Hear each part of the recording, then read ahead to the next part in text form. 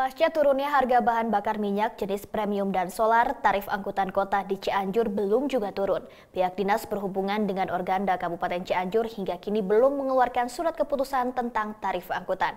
Hal serupa juga terjadi di Sukabumi. Sudah hampir sepekan harga bahan bakar minyak jenis premium dan solar turun. Namun tarif angkutan kota di Cianjur, Jawa Barat hingga kini masih belum juga turun. Para sopir angkot pun masih memperlakukan tarif lama dalam kota yaitu sebesar Rp3.000.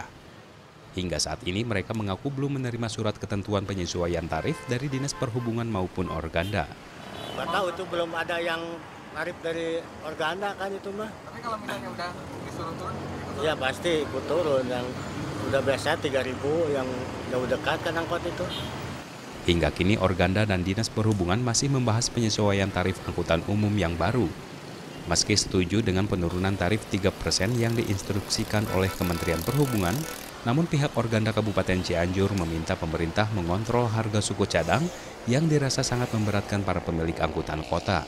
Penurunan eh, BBM sekarang Rp500 itu tidak berpengaruh tinggi kepada e, re, penurunan resiko beban operasional.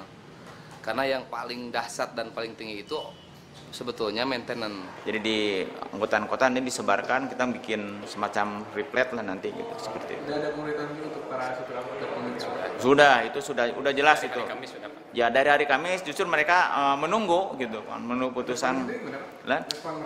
Di Sukabumi, Dinas Perhubungan sudah menurunkan tarif angkot, namun para sopir angkot masih memperlakukan tarif lama. Berdasarkan harga bahan bakar yang baru, ya. Dari hasil pertemuan tersebut kita sepakat ya kita sepakat bahwa tarif angkot untuk di wilayah kota Sukabumi disepakati terjadi penurunan ya, dari semula 3.500 menjadi 3.000 rupiah untuk uh, umum dan mahasiswa serta 2.000 rupiah untuk pelajar yang berseragam.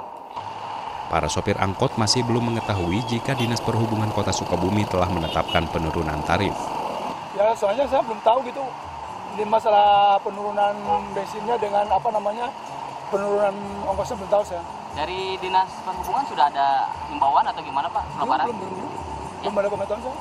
Berdasarkan perhitungan kesepakatan Dinas Perhubungan dan pemerintah kota serta Persatuan Sopir Angkutan Kota di Sukabumi, tarif angkot turun menjadi Rp3.125 dari semula Rp3.500 untuk umum.